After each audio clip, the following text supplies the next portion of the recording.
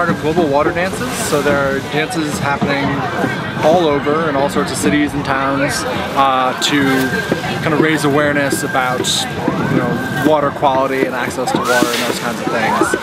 Uh, so Artichoke has been involved in environmental projects for a while and this one is to raise awareness about the Gowanus Canal and get people you know interacting and learning about it. This is our do one thing board. People come and they choose one of the three um, things that they can do in their day-to-day -day lives to help keep water clean. And that's use less water when it rains, saying no to combined sewage overflow.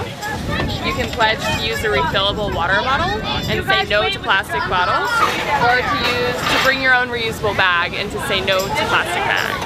And so you take, uh, you choose one that speaks to you, a dot of paint, and place it on the do one thing board. I pledge to say no to combined sewage overflow to, to stop pollution in water. Today is about raising the awareness of healthy water use in communities and globally. So I call global water dances, using dance as a medium to bring awareness to how people use water, especially in New York, along with other environmental awareness such as the overuse of plastic, hence the costume motif.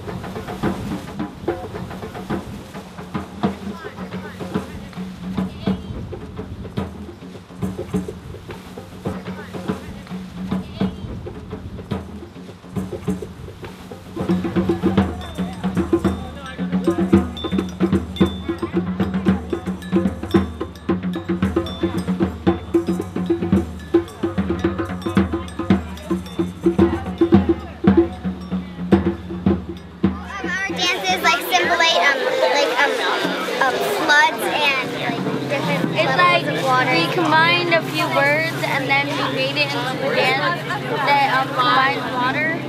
And then that's how like basically we made the form of our dance. So we use like a bunch of words and then we use those words in body movements and that's how we like made it.